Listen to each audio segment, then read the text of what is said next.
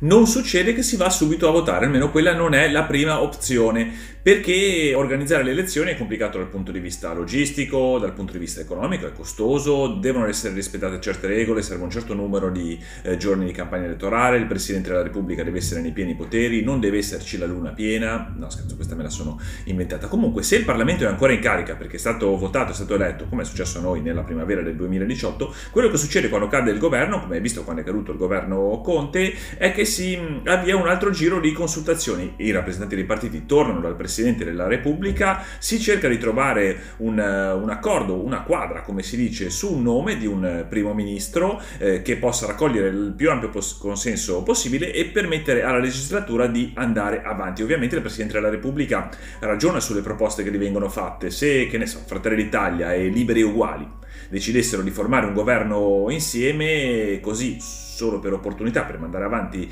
il governo, per andare al potere, tra virgolette, è chiaro che sarebbe un governo che durerebbe poco perché prime, ai primi problemi il governo cadrebbe di nuovo. Quindi si cerca di trovare un consenso su un, su un nome che possa raccogliere il più ampio numero di forze politiche possibile, come è successo eh, per Draghi dopo che è caduto il governo Conte. Te lo dico perché nel 2022 sicuramente la questione andiamo a votare, facciamo cadere il governo, togliamo la fiducia, verrà fuori tante volte.